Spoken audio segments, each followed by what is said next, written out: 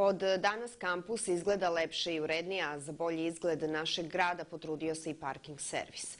Deo novca koji se naplati od nepropisno parkiranih vozila uložen je u rekonstrukciju oštećenih travnjaka, saopštili su iz ovog preduzeća. Na ovaj način doprinosi se lepšem i zelenijem Novom Sadu.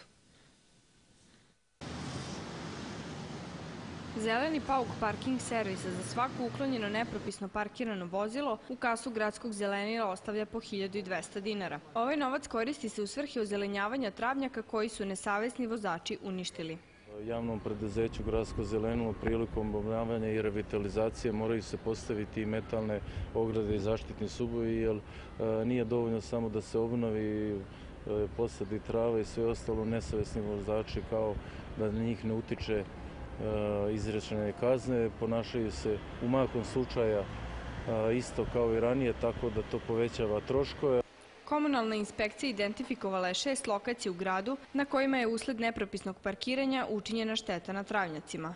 Po nalogu komunalne inspekcije, a po na osnovu nepropisno parkiranih vozila, sredstva koja su prikupljena i naplaćena po osnovu kazni od naših sugrađana, da se sredstva strogo namenski sada troše znači za obnavljanje da mi ih zovemo mikropovršina u gradu. U centru grada imamo jedan veliki problem gde zbilja u okviru e, svega onoga što treba da uradimo, da apliciramo za predstavnicu Evropske kulture 2020. Znači moramo se izboriti za svaki kvadratni metar da nam bude pod travom i da oplemenimo i ozelenimo naš grad.